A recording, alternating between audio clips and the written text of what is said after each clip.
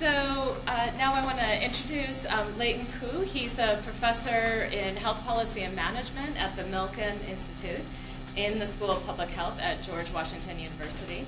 Um, uh, Professor Ku's career has been built around understanding and improving access to affordable health care, um, something that we all know is not an easy thing to, to do um, if you've heard anything about um, affordability in the exchanges lately. Um, so he has his entire career had a very um, difficult challenge and continues to be challenged to try to figure that one out. Um, he's also looked at topics more, more broadly on healthcare reform, Medicaid, um, the healthcare safety net, preventative services, and immigration health. Um, he has authored dozens of research articles in journals such as Health Affairs, American Journal of Public Health, and New England Journal of Medicine. Um, he often testifies before Congress and numerous state legislatures and has worked with policymakers and advocates across the nation. So he very much has his um, finger on the pulse of what's happening um, in, in current healthcare policies. So um, if you have any questions about that, perhaps at the end he might uh, be willing to entertain that as well. Um, he directs GW's Multidisciplinary Center for Health Policy Research, which includes over 20 faculty and 50 staff. Um, uh, very interesting that he also sits on the executive board for the DC's Health Benefits Exchange Authority, so that's DC's um, healthcare exchange, or what some people also call the marketplace. Um, we had a chance to talk to him about that last night at dinner, and it's fascinating stuff. Um, uh, and uh, um, he might be willing to entertain questions around that as well. But today, his talk will focus on using health insurance to promote population health goals um, specifically focusing on how Medicaid policy can promote smoking cessation. So with that, welcome.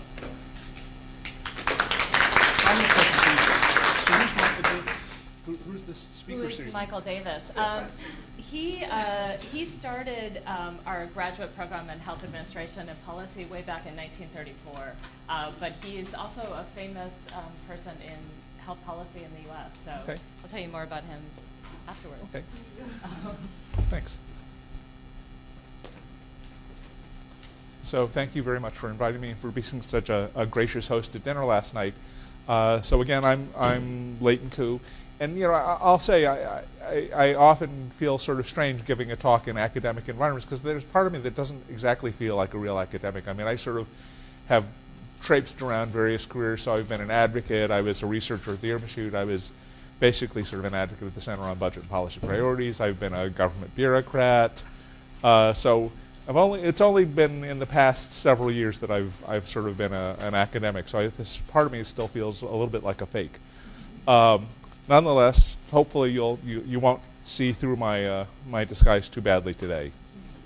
Uh, and and partly the other thing I guess I'd say is I mean the thing that I think is important about health policy and health administration is what is the application ultimately to the real world? How can we do things to improve policy? So I mean, so that's always been uh, very much at the, at the forefront of my view. So this is really sort of what motivated this question. I mean, I, for, for years, much of my career has been sort of focused really on access and, and questions and so on and so forth. And so I've, I've done lots of things looking at sort of how can we change Medicaid in terms of changing eligibility policies, or how can we change financing policies to help things, or help things like community health centers and so on.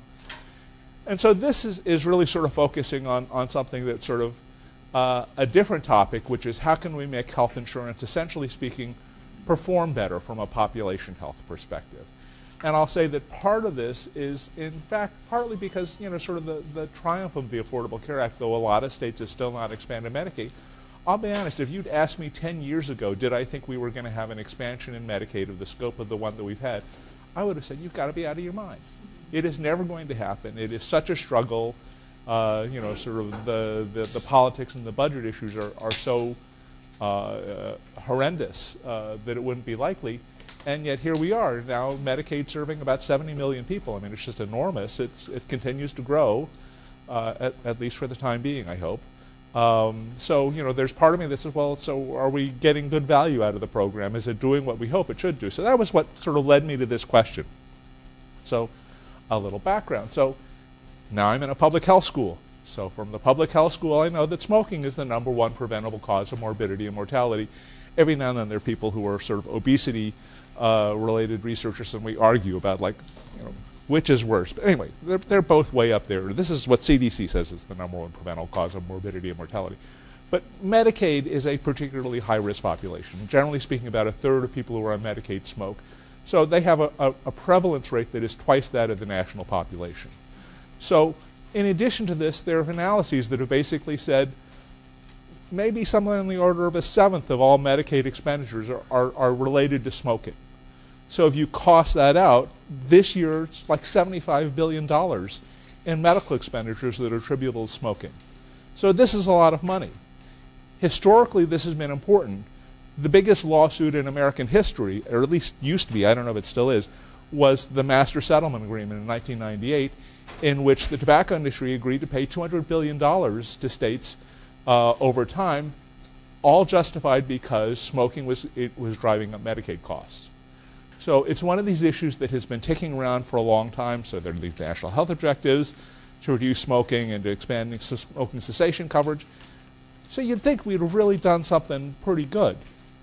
And so, in fact, when I tried to be, begin to figure out, well, how well have we done? Has it, has it really been working very well? That wasn't so easy to figure out. Uh, so that was what sort of started us. We're sort of midway into that process now and, and, trying to figure out a little more. So the big picture, the big picture is that insurance is not particularly well set up to deal with prevention. I mean, generally speaking, our medical care system and our insurance system is based on an acute care model in which bad things happen, people get sick, and you need treatment for that. All important. So the traditional concept in health insurance uh, of what defines what is coverable, and that is the key question in insurance, is what things are covered, is medical necessity. And medical necessity implied that there had to be a diagnosis of something that made treatment medically necessary or appropriate. So traditionally, prevention services weren't in there. You were healthy or you were close to healthy, so there was no illness. So there's, you know, what's medically necessary in that domain. And then in addition to this, insurers were always sort of bothered by this concept like we're going to do something now when someone's healthy, and you say it's going to save money years down the line, this person might not be my member years down the line, so what do I care? So this was something that had traditionally has been a weak area in, in insurance, not to mention there's the final thing, that patients don't come into the doctor and say, in most cases, you know, gee, I'm healthy, please, you know, do something for me. You know, generally they come in, they say, I'm sick, my knee hurts, I'm coughing, you know, whatever. And that's what I want care for. So nonetheless, slowly but surely, prevention services have been added. The Affordable Care Act sort of required coverage for uh, effective prevention services, so vaccinations, contraception, smoking cessation, et cetera. So that was a big gain. Uh, where I first started in the sort of area looking at tobacco cessation a few years, just sort of as a, as a random project, uh, I became involved with some people in Massachusetts who had uh, the same year of their health reform had begun a comprehensive Medicaid cessation benefit for smoking. And so the health department worked with the Medicaid agency to develop a fairly broad outreach plan. They had quit lines, they did lots of stuff. Uh, earlier research basically could show that smoking prevalence fell among Medicaid smokers uh, pretty substantially, fell by about 10 percentage points. Uh, they also found that the rate of cardiovascular hospitalizations fell among users by about a third to a half. And this was in about a year and a half, so this was a fairly rapid change. Now, I will say, as someone who didn't know a lot about smoking then, in fact, still really doesn't know a whole lot about smoking, uh, I would say, you know, like, what about emphysema, lung cancer? Aren't those the things that you expect to change? And the answer is, actually, people who know more about actual medical stuff tell me, no, those are things that are very slow to change. You need to have stopped smoking for a fairly protracted period before those gains happen.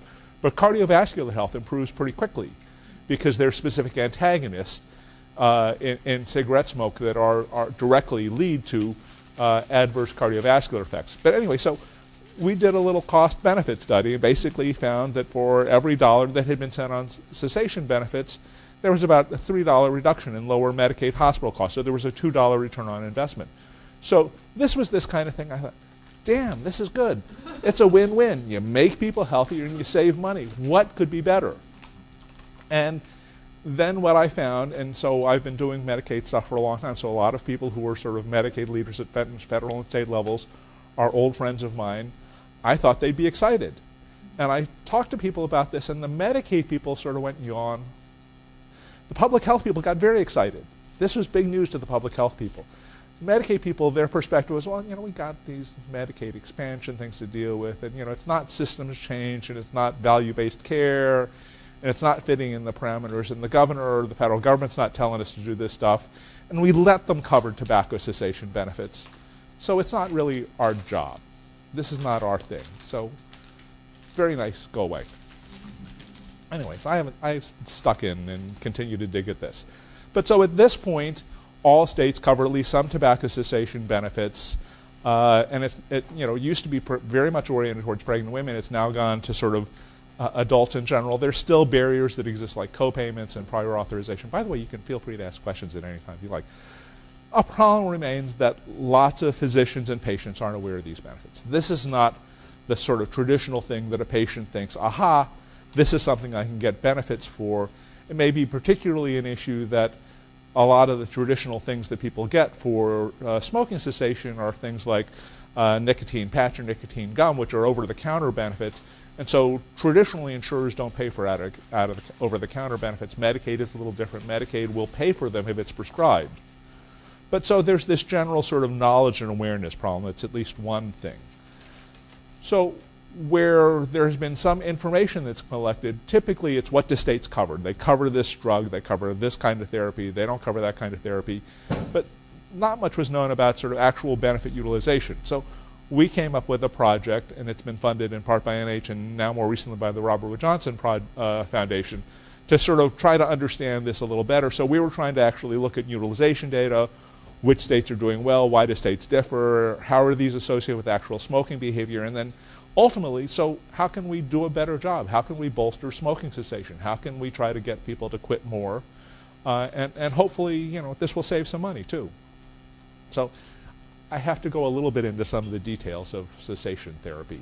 So, uh, uh, you know, this is not a surprise. It is tough for people who are smokers to, to quit. Are any of you smokers? My, my guess would be, you know, these days among upper middle class, well-educated people, smoking is pretty rare smoking has become sort of a class-related uh, issue in the U.S. to a great extent. But anyway, it's tough. I mean, it's sort of like a dieting thing. You know, it's easy to say you should quit. It's not so easy to do it. Uh, so there are often repeated attempts that are needed. So medications do help. Uh, they, they increase quit rates. Uh, they're not perfect. There are three principal types of approved therapy. One are what are called nicotine replacement therapies, and so those are things like the patch gum uh, and, and their various other lesser forms. And then there are a couple of pills. Uh, there's bupropion or Zyban, uh, which is used both for smoking cessation as an antidepressant. Uh, there's Varenicline, better known by its brand name Chantix. You every now and then see it advertised on TV. And that's a brand name drug. And that is considered actually the most effective of the medications, but it's, it's a lot more expensive. Uh, you know, one of the new issues that's coming up in this area is where do e-cigarettes fit in? And the answer is this is still a big area of major scientific and medical debate. I suspect this issue will not be settled in any definitive way for a long time. And will FDA at some point approve e-cigarettes as a as a form of cessation therapy? I don't know. You know I, I think it's probably years away, is my guess. So the next question is then thinking like, how do you go uh, sort of to think about how do you go from policies and what's influencing policies? So this is sort of on the left-hand side to where ultimately we might think is the right-hand side, which is the patient. So where does the patient actually take therapy? Do they try to quit? Do they get medications? Do they get counseling? And then ultimately, do they quit? What are the health outcomes? And that's way on the right-hand side. But there's all this stuff that gets in the way. So there's the fact that there's Medicaid agencies and there's public health agencies, and they're both trying to do things in this area. But in point of fact, they don't really, in general, have direct contact with any patients, or in fact, for that matter, with any doctors. So in many cases, they're going through managed care plans. Then there are some parts that involve doctors. There are some parts that involve counselors. There are quit lines. So it, this path is not straightforward of sort of who influences what. And this is, I suspect, you know, one of the problems is it's easy to say in policy we want to sort of help people quit and we want help, to help people get these medications. There are a lot of little steps in the path that, that are less easy to, to, to get through. So where we began was we looked uh, at a uh, unique source of drug utilization data. So uh, Medicaid has this policy where basically speaking there are these things called Medicaid rebates. And every drug pretty much uh, in the U.S. gets a Medicaid rebate. Uh, if it's sold and, and approved, then a side effect of that is that the rebates are based on the volume of drugs.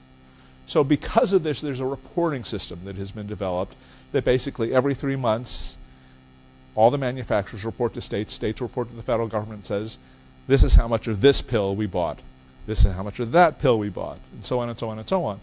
That usually is not used for research unless you're really into sort of uh, you know, drug analysis. But anyway, the whole system adds up to a lot. It's $16 billion a year we spend in drug rebates and Medicaid, so it's a lot of money. Uh, so, however, you can then use this to get information about the level of FDA-approved medications. And so we did this. Uh, an unfortunate problem is this information used to be updated and relatively easy to find on the web. It has gone dark recently. I recently filed a Freedom of Information Act request to try to get the data again. God knows when we're going to get this data again. Uh, there are other dilemmas that happen in this. I mean, anytime you do data analysis, the concepts are clear, the reality is messy. So bupropion is sometimes yeah, CMS keeps the data. And, and they kept the website up, but just They kept the website up and they closed it recently, and they're not completely clear about why they closed it. It's been hinted to us that it has to do with privacy reasons. I don't quite see what the privacy issue is because there was not any naming any individuals or even any companies. It would just say something like bupropion, you know, 100 pills for a given state in a given three months. But, you know, what the hell? Uh, you know, for the time being, uh, we can't get the updates on it. We got, you know, some up until recently. Uh, so one of the main drugs, uh, bupropion, is sometimes used as an antidepressant. So then there's this problem. Okay, we now know that people got bupropion. Why did they get it? And the answer is, it's not easy to know why they got it. Did they get it because they were smoking? Did they get it because they were depressed? And then the unfortunate thing is, depression and smoking are correlated. So you can be both. One leads to the other. Uh, so we had to sort of make some semi-arbitrary ways to to uh, restrict what we were using. Uh, so then we had other data. We had to sort of build up our data. So this drug utilization data is, is aggregate. It's not doesn't say John Jones got this pill. Uh, it doesn't have data about the characteristics of users. So, uh, and there are other ways in principle to get it. We, I was just talking with Professor Grogan about Medicaid claims data. They're available. But they're sort of unwieldy and slow. So there, there are problems with this. So we had to come up with, so we have a numerator now of sort of how many pills of various sorts or, or sprays or patches, et cetera, got, got uh, purchased. Uh, we needed to build up denominators, so we had to then come up with this other issue of estimating how many Medicaid adults were smokers, which in and of itself there are data challenges that are related to this. Nonetheless, after doing all this, this is sort of a snapshot of what we could learn for 2013. So in 2013, nationwide, there were about 1.7 million prescriptions that were done, and these were the three major classes of drugs, uh, and then how much was spent on it. So bupropion was the biggest one, so that's where it's a little challenging, where we're not exactly sure whether bupropion was being used for mental health purposes versus for smoking cessation. This is still a you know conservative estimate. Uh, and then, you know, a fair amount in terms of nicotine replacement therapies, and then a little less for, for Chantix or varenicline. On the other hand, varenicline is the most expensive, so from the, the cost side of things, that's half the money, and the others are, are relatively cheaper. But the bottom line that I think is important to note is that in total, though smoking costs Medicaid about 100 billion, $75 billion a year, we're spending about $100 million a year to promote smoking cessation. So to my mind, this is the thing that's sort of crazy from a policy perspective. Here's something that we know is a huge resource use, costs a lot in terms of health, and we're doing so damn little to deal with this. And so this was, you know, one of the things that's frustrating to me. So we have some data about uh, the prevalence of smoking and data that we sort of estimated. So again, when we looked over a number of years, there's been a slight reduction in the, in the percent of people who are smokers. And so this is one of the big triumphs of public health is that actually the smoking rate in the U.S. has, has dropped a lot. But again, tends to be sort of, it's among sort of more educated middle class people, it's dropped a lot. Among low income people, the, the, the reduction has been, has been less.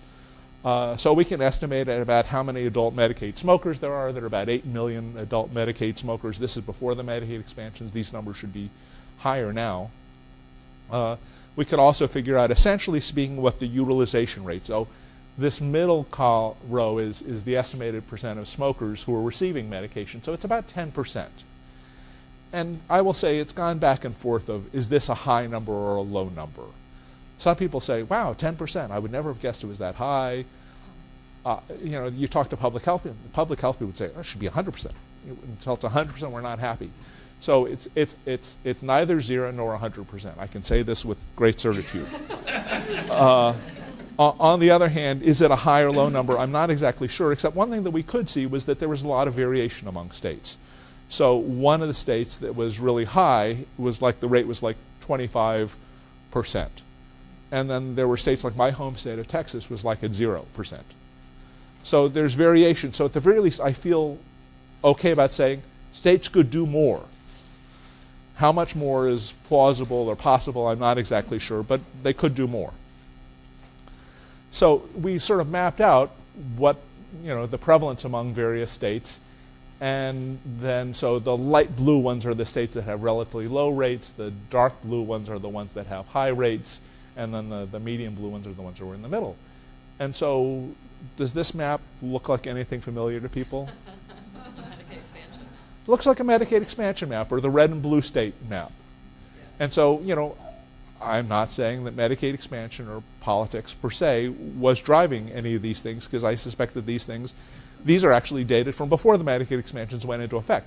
Nonetheless, it tells you that there's something going on there. So uh, this was at that point about sort of basically saying, uh, you know, states could do more to promote smoking cessation. And so, you know, I'll say again, we didn't find sort of clear correlations between which states had higher smoking prevalence and which were doing more utilization. This is where we're we're looking some more.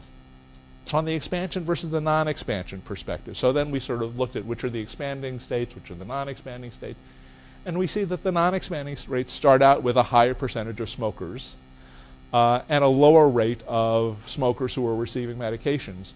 And while I don't think that the Medicaid expansion, you know, the failure to make expand Medicaid made people in that state light up because they're now so stressed that they have to smoke, I don't think that happened.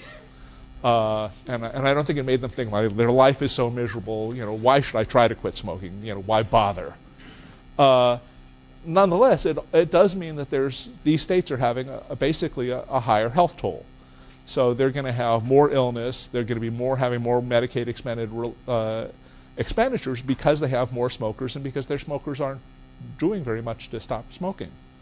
So this is, is, is, is a real sort of problem for these states. Uh, and, and, yet, you know, they decided they didn't want to expand Medicaid. You can sort of say, well, that's their problem. Uh, so, you know, this is, is going to cause a, a, growing problem in, in tobacco-related burdens. Uh, so then sort of this issue that sort of, so that was one stage of this research. We published some of this in Health Affairs in an article, I think it came out earlier last year. Uh, maybe it was this year, I forget which.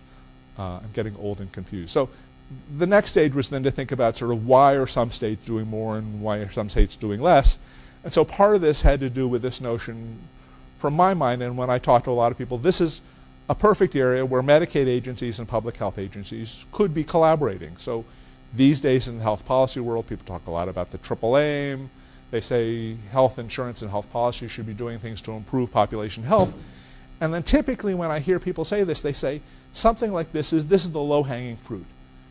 We cover these things with, with insurance policies already. We know it's important. We know smokers want to quit. And so why aren't we doing this very well? So one thing people said, well, gee, you know, Medicaid and the public health agency should work together. So we actually have, I'll talk a little about a little case study we did on collaboration between Medicaid and public health agencies. And the other thing we did, we did some, some other sort of uh, more quantitative analysis. And so I'm actually think I'm going to talk about the quantitative analysis first because that paper is just about to come out. So, so here we did an analysis basically that said, what are the determinants of medication use, uh, so prescription fills for smoke or for every state from over five years. So we had developed a time series. Uh, and so we have a little panel for those who, who use that kind of analysis. so we can sort of see what things were associated with, with when uh, medication use went up or down and what was distinguishing it. And we could include lots of uh, policy coverages, things, things like were Medicaid states covering these different types of medications, where there were restrictions. We could include other smoking related policies, like what's the level of cigarette taxes that they have, do they have smoke free laws that sort of restrict smoking in public areas, what's the overall public uh, smoking prevalence in case you think that there are sort of norms within a state. Uh, we could also then look at, at do quit lines provide uh, medications also because that might bias the data. If people are getting their medications for free through a quit line, people know what quit lines are, maybe a word about quit lines. So quit lines, every state, uh, and then the federal government runs some one too, has uh, a quit line. So there are 1-800 numbers that you can call and you can say, I'm a smoker, I need some help uh, quitting. And they will give you some level of brief counseling over uh, the phone. In some cases, uh, they will also provide some free medication. So in a lot of places, you know, if you, uh, they'll say, you know, we can arrange for you to get, you know, a month of uh, nicotine patch, and here's a little voucher, and you go to the pharmacy and pick it up. Uh, so, you know, this is something that's that's going on. Basically, every state has one. Uh, this is actually one of the main ways that health departments actually are able to track anything about about utilization is through use of their quit lines. Um, so, but again, so the quit lines may be coming from the public health department as opposed to from Medicaid for the same people. Uh, so that might be something that was a bias. So we could look at those things.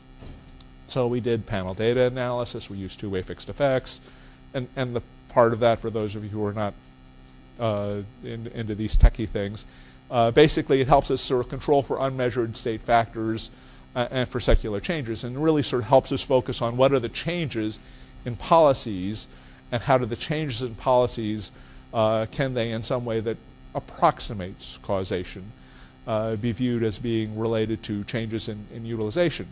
Uh, so what we found was uh, sort of interesting, you know, sort of one that was really sort of a surprise was a lot of states have this requirement that you have to get counseling in order to get access to the tobacco cessation medications.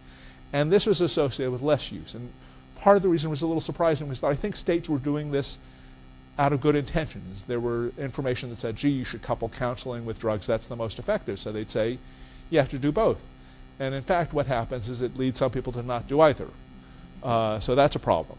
Uh, we didn't find, and, and, we found that having a broader selection of medications was associated with greater use too. So that's a, you know, that's uh, useful and hopefully will help spur states to cover everything, which CDC and uh, HHS have been recommending for many years, but doesn't necessarily happen. We didn't find significant effects of various things like co-payments or prior authorization. That was a little surprising when I've done work in this area in general. Co-payments, even modest co-payments, reduce utilization. So we didn't find that.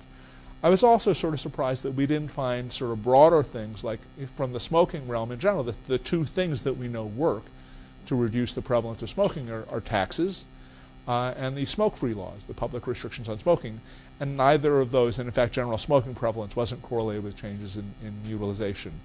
Uh, and I have various thoughts about why that might be. Maybe they're associated with, with whether you smoke, but not whether you're trying to quit. Our measure of utilization sort of presumes that you're a smoker already, and then are you trying to quit?